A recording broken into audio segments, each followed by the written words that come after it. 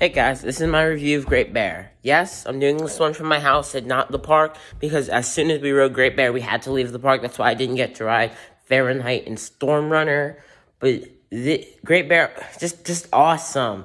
I have a picture. I actually bought the picture because I, I was just there. I was just vibing. I was just vibing. I was like, yay!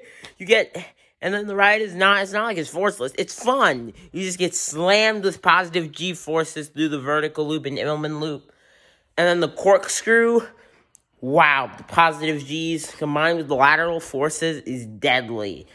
And that also includes the zero G roll. It's one of the best zero G rolls. You go weightless.